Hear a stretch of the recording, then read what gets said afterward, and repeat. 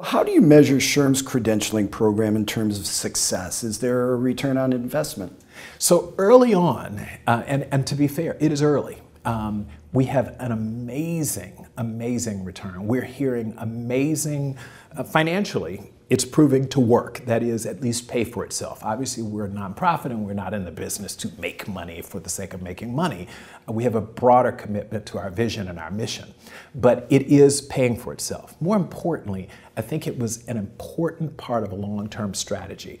It is a focus on practitioners, practice. Uh, you can learn HR theoretically but when put in the situation, uh, you don't know what to do. And what our test does, our certification uh, protocol, which includes training, not just testing, but training and preparing one for the test, is it ensures that you actually have the requisite skills to practice HR as opposed to being able to pontificate and speak about HR from a theoretical base. There seems to be a coexistence now between SHRM and HRCI. Uh, is there ultimately room for both organizations to successfully operate? We'll see. I don't know. I know SHRM's going to be successful. That's the one thing I can tell you, uh, because I don't like to lose, and my board won't let us lose. So, but I don't think in this world of uh, you know multiple options that someone has to win and someone will lose. It might work out that way, but we're going to win.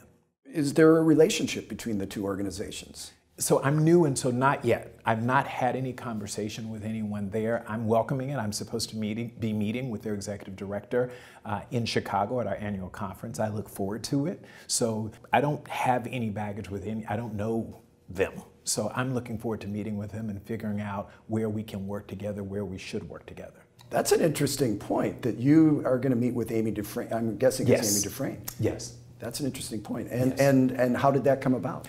Um, let me see. I guess someone suggested it, but I, she actually, I can't remember how it all happened. I know it's on my calendar, so that's what I know. So I can't say I reached out to her, and I've not personally spoken with her.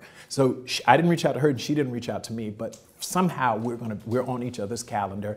Uh, HRCI uh, participates in our annual conference. They will be exhibiting in our in our hall, and so I'm going to invite her up and have some conversations. We've got to. I mean, this isn't. Uh, necessarily a Coke and Pepsi world. I mean, and, and maybe it is because both both cola drinks have to exist and do so in the market. They will compete, but respectfully so, and uh, will differentiate where we differentiate. And, and but as I, I can't reinforce, we're in this. We didn't launch a business.